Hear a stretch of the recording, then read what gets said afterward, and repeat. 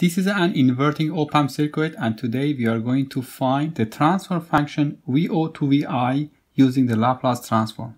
To begin, we will simplify this star or Y network containing capacitors C2, C3 and C4 to a delta configuration.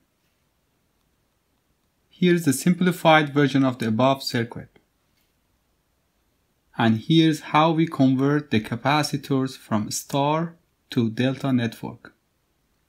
For example, the capacitance between node A and B will be C2 multiplied by C3 and divided by sum of C2, C3, C4.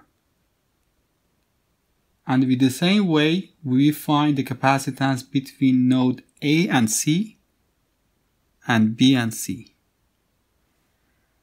Now we need to find the capacitor's impedance and from the circuit analysis we know a capacitor with a zero initial voltage has an impedance of 1 divided by Cs in Laplace domain. And a resistor has the same constant value in the Laplace domain. So the Laplace transform of CAB will be 3 over S.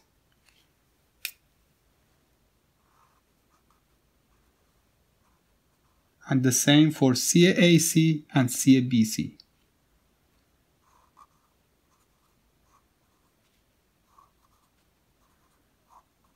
As you can see here, CAC is in parallel with R2 and also CABC is in parallel with R3 and both of them are in series and they both are in parallel with CAB. So we can call this feedback impedance ZF and here is how we can calculate this impedance. By the way, if you liked what you are watching, please hit the like button and also subscribe to the channel if you haven't yet. Now back to the video. Likewise, ZG is the impedance containing CA1 in series with R1.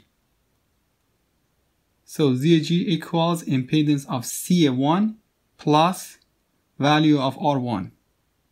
Now from the electronic circuit analysis, we remember that the voltage gain VO to VI of an inverting op-amp is the feedback impedance divided by input impedance. So VO to VI equals minus ZF divided by ZG and the negative is the 180 degree phase shift between the output and input. I have other videos on this topic reviewing op-amp circuit which I will put the links under the video description. Please push the notification bell if you would like to get notified when I publish new videos.